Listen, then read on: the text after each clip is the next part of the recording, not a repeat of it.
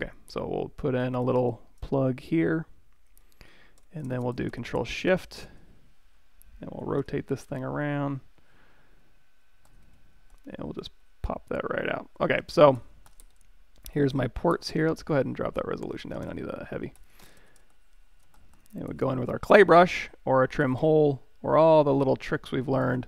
Then we'll say these is where I want my things to plug in. Now if I go to brush, curve, uh, any uh, pick one, doesn't really matter. Let's do brush insert cylinder here.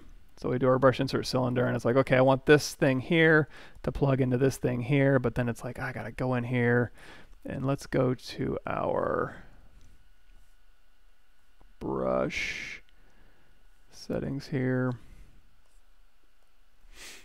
And, oh wait, no, I don't want that. I want stroke settings. So brush and stroke settings for these things. But under the curve functions here, if I turn off snap, I can, it'll kind of allow me to kind of go in here and not be so like dictating.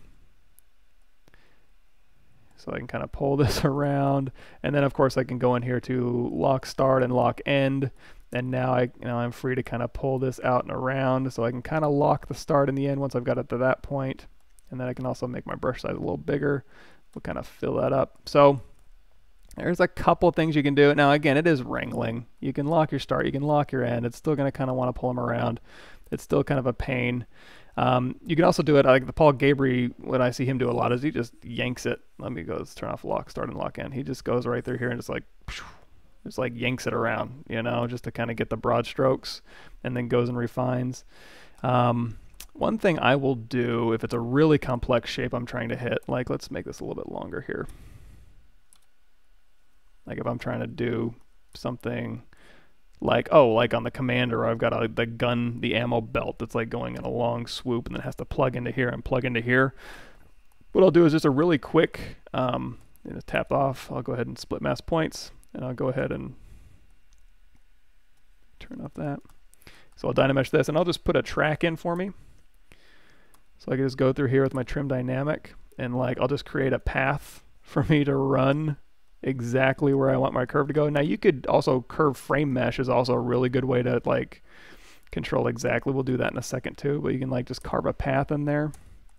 And now we can go to um, brush insert army curve here. And let's see, we'll do bullets. Now we can go through here and now the bolts will follow this path. You can also hit six, I believe, which is smooth.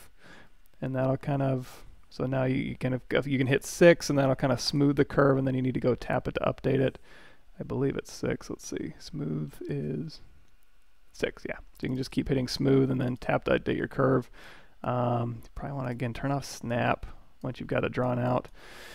Um, one other thing you can do. Let's go ahead and delete.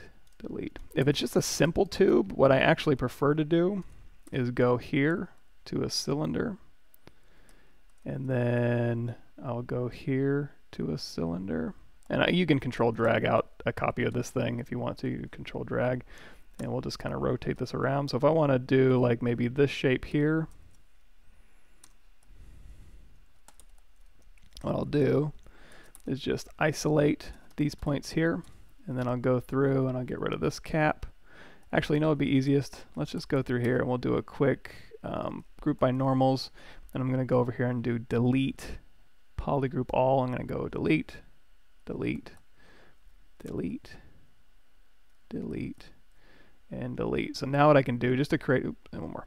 So what I can do to create a simple hose in that shape or a tube, just go through here and we're just going to bridge two holes in here to here, and then here to here, and then here to here. And there's other there's other options in there you can do like you can do circle, tight round corners, straight lines, arcs, all that kind of stuff. But that's just a kind of an easier way to kind of get the shape you want sometimes.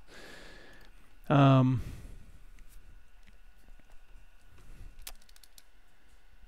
that's one way. Uh, I was also going to talk about um, that, carving a path. Oh yeah, framing your mesh. So if it's something, if you're lucky enough where, let's just do the skull here.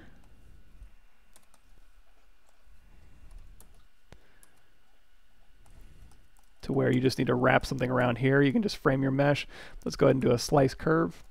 And then we can just open that up, control shift, and then we'll go into our stroke menu, and then we'll frame our border.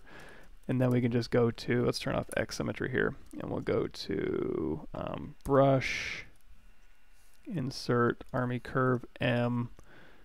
We'll put bullets around the skull. Oh yeah, now that is a, oh look at that. That's concept art right there. That's probably the coolest thing I've ever made in my life. That is like a metal album cover right there. So we'll go ahead and say that's cool. Little crown of full metal jacket crown there.